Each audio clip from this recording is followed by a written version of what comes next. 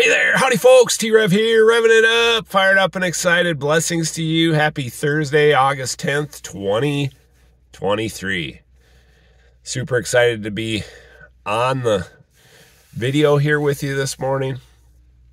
I pray that your days and your times are blessed and filled with hope and peace and encouragement, and you spread that hope and peace and encouragement with everyone around you. Um, I was listening to Joe Dispenza this morning, a little 11 minute video, and he said something that really stuck out to me. And the phrase was reality is a flexible canvas, it's not rigid.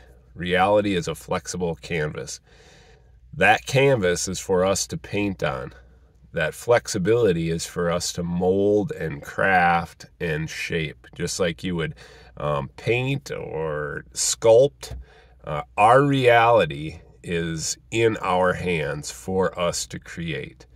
And so we have the opportunity every moment, every day, by our thoughts, by our words, and by our actions and behaviors, and the way that we show up our reality is crafted by us. And so just remember that life isn't something that happens to you. You, me, we make life happen. God bless.